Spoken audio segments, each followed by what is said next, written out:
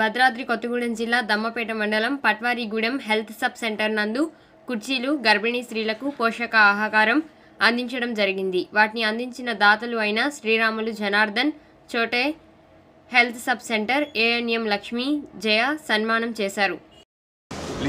Subscribe TV nine. TV nine. అందరూ చూడండి. ఆనందించండి. Please subscribe. Thank you hi viewers నేను మీ Hyper Aadi please subscribe TV triple nine TV triple nine. Good luck and God bless. Thank you. Please subscribe TV triple nine